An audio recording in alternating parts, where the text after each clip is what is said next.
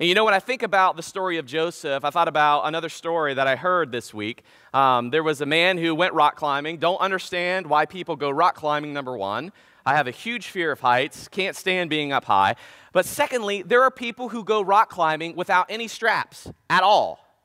To me, that is insane. Well, one guy slipped, and as he fell down the side of the mountain. He grabbed onto some roots. It was just a, a, little tree that had sprung up on the side of the mountain, and the roots weren't very deep. And he grabbed a hold of it and he cried out to God, God, will you help me? And he heard a voice that came back. And God said, Let go of the branch. And he waited for a second and he said, Is there anyone else? And that is absolutely true, is it not, when it comes to our trust with God? Sometimes we feel like God is calling us to let go of the branch, and we're like, that's not an option that I really want to pursue. Well, imagine Joseph trusting in God all along through this horrific journey of a terrible family, the death of his mom. He's crying out for God's help, probably in his own mind, but yet he never loses this element of trust. And so, if you have your Bibles, we're going to start right here in Genesis chapter 39. We're going to start reading together in verse 1, and here's what it says Now Joseph had been taken down to Egypt, and Potiphar, the officer of the Pharaoh, Pharaoh's number one in charge, captain of the guard, an Egyptian, bought him from the Ishmaelites who had taken him down there. And the Lord was with Joseph. I find extreme comfort in this. That here is a young man that tries to live life according to the book, we saw last week how he was utterly faithful to his father, not just his earthly father, but also his heavenly father, and that even when his father asked him to go to a group of men, his own brothers, who despised him, he chose not just to trust his father, he chose to obey his father. And when he didn't find his brothers, he went the extra mile to, to, to carry out his mission. And so he didn't give up because he's faithful, because he obeys. And here we see in this passage of Scripture, even though Joseph gets the short end of the stick in life, the Bible says the Lord was with Joseph. And let me tell you something, brothers and sisters. If the Lord was with Joseph in moments like that, God is with you in moments of your valleys, and moments where you're in the pit, and moments when you feel abandoned by God. Because God is creating a story, He's carrying out His purpose, He has a plan. And it goes on to say that he was a successful man. And he was in the house of his master, the Egyptian. And his master saw that the Lord was with him, and that the Lord made all he did prosper in his hand. And so Joseph found favor in his sight, and he served him, and then he made him overseer of his house. So here is Joseph, 17 years old when he gets sold into slavery, goes through the chain of custody, ends up excelling in the position that he's appointed to, even to the point where now he is second in rank in the entire kingdom. He is the right hand man of the most powerful man in the known world at that time, and that is Pharaoh over Egypt. And the Lord was with him, and the Lord guided his hand. Now, here's often probably one of the most frustrating points in Christianity, as when we do try to understand the will of God or the plan of God, we often mistake one aspect of God's plan or his will for another. God has what's called a providential plan. These are ways and things that God is directly involved in the human course of history. God causes specific things to happen. He prevents other things to happen. And this is God's direct hand involved. That is the providential will of God. But then there's also the permissive will of God, where even though God isn't instrumentally involved, He permits and He allows things to happen. For instance, God allowed Joseph to be sold into slavery by, by his brothers. God allows loved ones of us to pass away or get sick. God allows us to go through the tough moments of life. That doesn't mean God is out of control, but it does mean that God permits suffering and evil. But here's what we know about Joseph's situation is that even though he went through something that was difficult and tough, he's experiencing something that is overwhelmingly good. And that's what the Bible says in James. The Bible says that all perfect goodness, goodness, every perfect gift comes from God. And so, isn't it good when things are going well for us? Don't we like it when things go well? Our relationships are working, we're succeeding at our job. Life just seems great. It's going well. And we're like, man, I must be doing something right. Another mistake.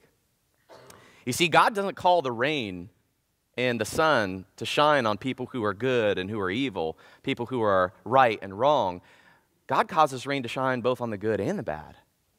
And so, in this permissive will of God, just because things are good for you doesn't mean you're necessarily doing something right. But just because things are bad for you doesn't necessarily mean you're doing something that is wrong. God is working out his plan, sometimes, rarely, through providence and through his control, while other times through his permission, taking into account the free will decisions of everyone around us.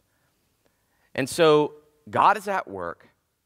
Goodness is happening to Joseph right now. And you know, when I think about the good things in my life, the best part of my life is my family, my faith. I, I, really enjoy football. I was raised on football. It's something I look forward to every year. It's not the center of my universe, right? But it's definitely something that I enjoy. Uh, experiencing a delicious meal, going out to a movie. I mean, all of these good things, they come in harmony, and life just seems to go great. But goodness only lasts for a season. And if you've lived any amount of life, you know that there are good times and there are bad times. And so look what happens to Joseph. Things are going great. And then the poor guy just can't get ahead of the game. God allows him to go through something again. Look what it says here in verse 6. Starting with verse 5, it says, So it was from that time that he made him overseer of the house and all that he had, and the Lord blessed the Egyptian's house for Joseph's sake. What an incredible thing. And the blessing of the Lord was on all that he had in the house and in the field. And so God's hand is providentially involved in Joseph's life because God is working out a plan through Joseph. And look what it says starting in verse 6. It says, Thus he had left all he had in Joseph's hand, being Pharaoh. And he did not know what he had except for the bread which he ate. Now Joseph was handsome in form and appearance. not to brag or anything, but the guy's good looking. The author is basically saying, You all thought I was going to make a reference to me, didn't you? thought about it. but then the Bible also says not to lie. So, no, he is, he is tall, dark, and handsome, in other words. He's setting up the story for a narrative to introduce the purpose of the next part of Joseph's story. But here's the deal prosperity sometimes comes into our life and we should enjoy it, but we should also understand it is short lived. Anything could happen to your 401k, anything could happen to your health, anything could happen to your loved ones. Just because things are going great doesn't mean they always will go great. In fact, it's not a matter of if, it's a matter of when. And we as Christians must align our theology and our perspective on life so that we can go through the difficult circumstances, just like Joseph, with absolute faithfulness. That's what God is calling us to. And so look what happens in verse 6. Starting in verse 7, we already read verse 6. It says, And it came to pass after those things that his master's wife cast long eyes at Joseph. I don't even know what that looks like, you know?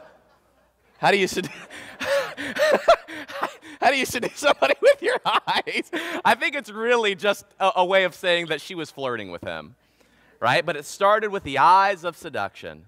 And so here is this good looking guy serving the most powerful man in the world, and his wife is starting to long after this young, upcoming, good looking guy who's smart and witty and skillful and recognizable. All the things that you would want in a man are in Joseph. And Joseph is about to step into a hot pot of mess. And God's going to let him go through it. Look what it goes on to say. And it came to pass after these things that his master's wife, casting long eyes on Joseph, she said, Lie with me. Commit adultery with me, in other words. What a terrible circumstance to be stuck in if you're a man of morals, if you love God and you love people. And it said, But he refused and said to his master's wife, Look, my master does not know what is with me in the house, and he has committed all that he has to my hand. There is no one greater in this house than I, nor has he kept anything from me but you, because you are his wife. How then can I do this great wickedness? And look at this and sin against God. You see, for Joseph, the bigger part of his story isn't messing with other people's lives, isn't wrecking homes. Ultimately, for Joseph, he is living in such a way where he brings God into the picture. This isn't just sinning against this man that trusts me, this is sinning ultimately against God. And that's what sexual sin is. It's not just about, well, you'll get pregnant if you have sex before marriage, or you'll get a disease, or something bad may happen and instilling fear in our culture. It's about this. Sex outside of God's design and plan for us is ultimately sin against Him because we are telling God, God, I am casting a vote for a different universe. What you have created and designed does not work, and I don't trust it. I'm in control. What I say goes. And Joseph knew that having sex with this woman was sin against God, and he did not want to do it. What an upstanding guy. I mean, you think about our culture, and the majority of men, if they had the opportunity to lie with an attractive, powerful woman, they probably would. And they probably wouldn't care. But God is calling us to His side, He's calling us to His plan. It is God's will for your life to remain sexually pure, not to be abstinent. Sex is great. It's created by God. It's a wonderful gift. I mean, we could make things really uncomfortable this morning if we wanted to, but we'll just leave it at that. Sex is a good thing to be enjoyed in the way that God designed it to be enjoyed. But nevertheless, here's Potiphar's or Pharaoh's wife trying to seduce a man who loves God and loves people and to jack up his plan. But Joseph says, No, I need to follow God. Let's keep going on through the story. Look what also it says. So it was, after she spoke to Joseph, day by day that he did not heed her to lie with her or to be with her. I mean, day in and day out. Can you imagine going to work every single day and having somebody try to seduce you? Ladies, can you imagine going to your job every single day and being sexually harassed? And many of you are like, been there, done that. But think about this. Usually, this was a male dominated society. I mean, usually men are the ones who are more provocative, and women are the ones who are more defensive in this culture. But yet, the scroll was flipped. Here, Joseph is the one being pursued by Pharaoh's wife. And so, this is a classic case of somebody just trying to bully someone to get what they want. It's, it's sexual assault, constant, every day. And you know what? There are people in this room who battle the temptation of pornography every single day the woman or the man is whispering through that screen, Come lie with me. Come have me. This is so much better than what you're not getting at home, or what you're not getting as a single person, or what you're not getting in your relationship. Come lie with me every single day. But yet, God has a plan. And what is God's plan for Joseph? That he wouldn't face sexual temptation? No, that if he does face sexual temptation, he would choose to do the right thing. And so look what the story goes on to say. But it happened about this time, verse 11, when Joseph went to the house to do his work, and none of the men was outside, uh, that, was out, that was of the house was inside. Really bad situation when you're alone whether it's a computer screen or another woman, when you are alone, you're setting the stage for disaster. I've made mistakes like that in my ministry, and thanks be to God, no one brought false accusations against me or charges against me. And it's really hard being in the ministry or just being a person not to be alone with another individual of the opposite sex. But here at Severn Christian Church, our policy is no one on one counseling without other people in the office. We don't want to meet with other members of the opposite sex because we don't even want that being projected onto us as if something is going wrong. And so, if there are counseling sessions that are, that are prescribed, it's always written on the books. Nine times out of ten, there are other people in the office. But this is a general wisdom that's applied in ministry. This should be some general wisdom that we take into our own lives, especially for those of you who are married. Do not be alone with the opposite sex. It sets a really bad picture, but it also opens up the door for temptation. And so the stage is set. Whether or not Potiphar's wife dismissed everyone or it just happened by circumstance, here is Joseph stuck alone. And look what takes place. And she caught him by his garment, saying, Lie with me. But he left his garment in her hand and fled and ran outside. What's with this guy in jackets? You know what I mean? It's like, dude, stop wearing coats and maybe you won't get into trouble. I had that thought this week. But this poor guy, she lunges at him and seizes him to grab him onto her.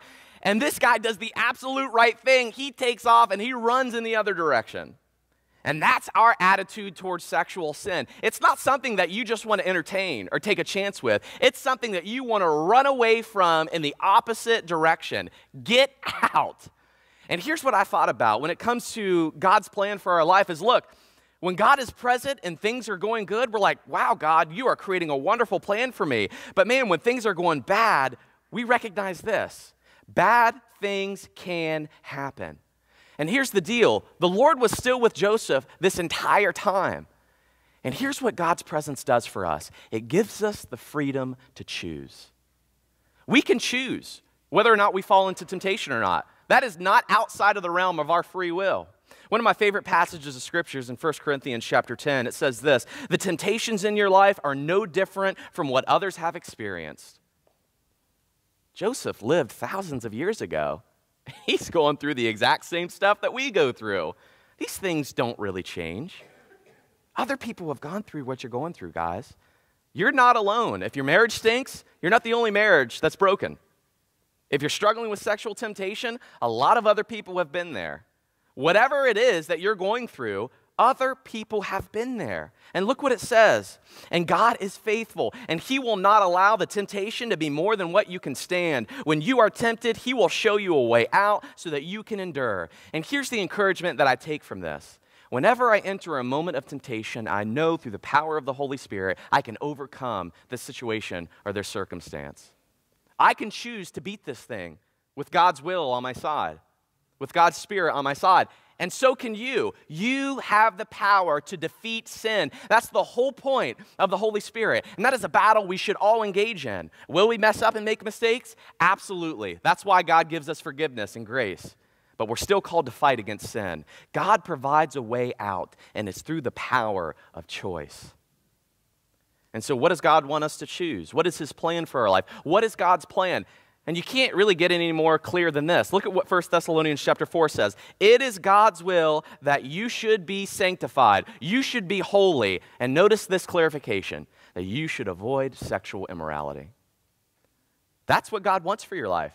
Last week, if you remember the scripture that we ended with, what is God's will for your life? Joseph is in the bottom of the pit, getting sold into slavery. In all circumstances, give thanks. Give thanks to God for what you have, for who you are, for whose you are. And now we notice from this week what is God's will for your life that you should abstain from sexual morality. Now, does that apply only to adults? Nope. It applies to our students, it applies to those who are more experienced and seasoned in life. Sexual temptation doesn't end later on in life. It doesn't. And for those of you who are in that stage of life, you know exactly what I'm talking about. It doesn't end. The battle starts in the mind. And Jesus says this if you lust to commit adultery with a woman in your heart, you've already done it. And so just because the body might stop working doesn't mean the mind ever stops. Sexual temptation never goes away, but we must know how to deal with it. And so God's presence gives us the ability to choose. God's presence also gives us the ability to run. 2 Timothy chapter 2 verse 22 says this, "Run from anything that stimulates youthful lust. Instead, pursue righteous living, faithfulness, love, and peace. Enjoy the companionship of those who call on the Lord with pure hearts." So it's not just running from something, it's running to something. And that's what I see in our culture. We have become so convinced that if we just convince our students or our young people or our college age students to run from the consequences of sexual sin, and we don't say run to this, we think that we've done our job and we haven't. God is a God of sex. He created our body with specific parts of it to absolutely enjoy sex. He wants us to do that. But we must not run from sexual sin. We must run to holiness peace, love, righteous living. And so God was with Joseph. God is with you. Through his presence, he gives you the power of choice and the ability to run. Let's continue on in this narrative, picking up in verse 13. Here's what it says. And so it was when she saw that he had left his garment in her hand and fled outside, that she called to the men of her house and spoke to them, saying, See, he has brought into us a Hebrew to mock us, he being Pharaoh. He came to lie with me, and I cried out with a loud voice. And it happened when he heard that I lifted my voice and cried out that he left his garment with me and fled and went outside. And so she kept his garment with her until the master came home. Uh oh. then she spoke to him with these words The Hebrew servant whom you brought to us came into me to mock me. And so it happened as I lifted my voice and cried out that he left his garment with me and fled outside. And so it was when his master heard these words, which his wife spoke to him, saying, Your servant did to me after this manner, that this anger was aroused. This is a good thing. Spouses that get jealous over their spouses, that's okay. You belong to each other.